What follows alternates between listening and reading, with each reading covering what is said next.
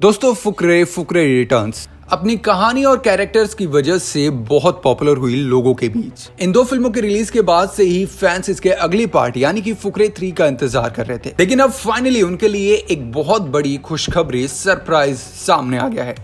आखिरकार फैंस को अब थोड़ा तसल्ली मिलेगी क्योंकि डायरेक्टर मृगदीप सिंह लांबा ने बताया कि फ़िल्म की शूटिंग इस साल 2021 के आखिरी में शुरू की जाएगी। क्योंकि उससे पहले खबर आई थी कि फ़िल्म की शूटिंग पहले अप्रैल में होने वाली थी। एक मीडिया रिपोर्ट से बातचीत करते हुए डायरेक्टर ने बताया, हम फ़िल्म की शूटिंग 15 अप्रैल से शुरू करने वाले थे, लेकिन लॉकडाउन के चलते हमारा प्लान खराब हो गया था। अब हम इस साल के आखिरी तक शूटिंग शुरू करेंगे।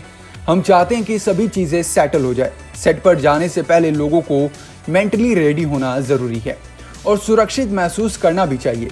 उन्होंने आगे कहा, हमें नहीं पता कि अगली मुसीबत क्या है। मैं नहीं चाहता कि हम प्रोजेक्ट शुरू करें और बीच में इसे किसी वजह से रोकना पड़े। मैं चाहता हूँ कि जब हम फ़िल्म शुरू करें, शूट शुरू करें तो फ़िल्म को एक ही बार में खत्म करें। मैं फ़िल्म को बीच में रोकना नहीं चाहता। वरुण शर्मा, इन्हें कौन नहीं जानता? फुकरे टीम का सबसे स्पेशल बंदा। उन्होंने एक स्पॉट बॉय से बातचीत करते हुए कहा था कि वो जल्दी सर्कस फ़िल्म की शूटिंग खत्म करके उसके बाद तुरंत फुकरे तीन पर काम शुरू करेंगे। फ़िलहाल फ़िल्म के शेड्यूल पर काम किया जा रहा है। मैंने चूचा का किरदार निभाकर अपने सफ़र की शुरुआत की थी। ये मेरा पहला किरदार था और मैं दोबारा इसे निभाने का इंतज़ार नहीं कर सकता। दोस्तों, देखा जाए तो चूचा कैरेक्टर बाकी सभी कैरेक्टर से काफ़ी पॉपुलर हुआ था। सभी ने वरुण शर्मा की एक्टिंग और उनकी को लोगों ने सराहा था। अब फुकरे थ्री कैसी होती है, ये तो आने वाला वक्त बताएगा। वेल, आपको कैसा लगा था चूचा? नीचे कमेंट बॉक्स में अपनी अपनी राय शेयर करें।